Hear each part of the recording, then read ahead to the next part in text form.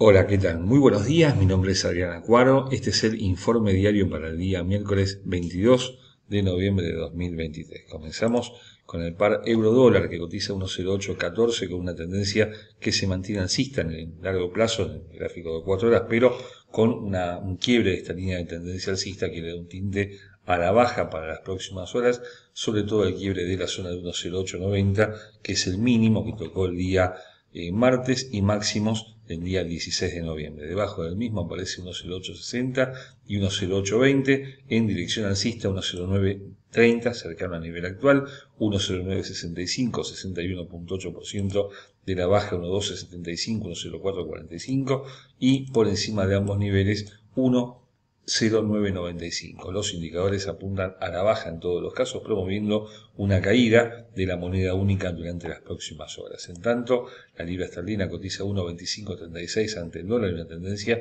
que se mantiene alcista en el gráfico de 4 horas sostenida por una línea de tendencia secundaria que pasa por el nivel actual y una primaria que pasa por 1,2475, el quiebre de la primera, que eh, es inminente, podría encontrar soporte en la zona de 1.2505, máximo al día 14 de noviembre, más abajo 1.2460, la línea de tendencia principal, y 1.2430 con objetivos al alza en la zona de 1.2585 y 1.2620, el primero de ellos el 50% de la baja, 1.3141, 1.2036. Los indicadores en el gráfico de 4 horas apuntan alza todavía, pero con una sobrecompra muy marcada y con momentos que pierde velocidad, lo cual puede estar anticipando una ligera baja de la moneda británica en las próximas horas. El dólar yen, en tanto, cotiza 148.35 con una tendencia que se mantiene bajista en gráfico de 4 horas, pero con dos o tres fibos que han marcado el movimiento de las últimas 24 horas. El primero